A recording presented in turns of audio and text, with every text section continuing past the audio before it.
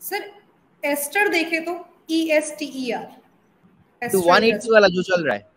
जी 181.55 yes देखिए promoter profit sorry profit growth जो है माइनस तीन परसेंट के आसपास चल रहा है पंद्रह सौ करोड़ का कंपनी है। एंड आप एक चीज़ देखेंगे जो प्रोमोटर होल्डिंग है ऑलमोस्ट सिक्सटी फोर परसेंट के आसपास है। और कंपनी का जो पी है price earning ratio almost ten है। सो so, uh, कुछ कुछ चीज़ अच्छा है कुछ कुछ चीज़ बुरा भी है। अगर आप 200 डीएमए देखेंगे, देखिए 200 डीएमए के ऊपर चल रहा है तो ये एक पॉजिटिव है एंड 50 मूविंग एवरेज प्राइस के ऊपर भी ट्रेड कर रहा है।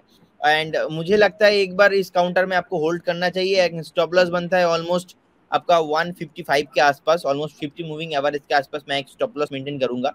एंड जब जब कंपनी 200 डीएमए के ऊपर ट्रेड किया है, हम, हमने देखा कि बहुत अच्छा रिटर्न दिया है।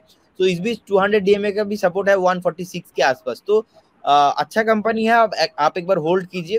प्रोबेबिलिटी है आपको एक बार 220 से 225 के रेंज पे टारगेट आते दिखे कमिंग फ्यू मंथ्स पे। जी।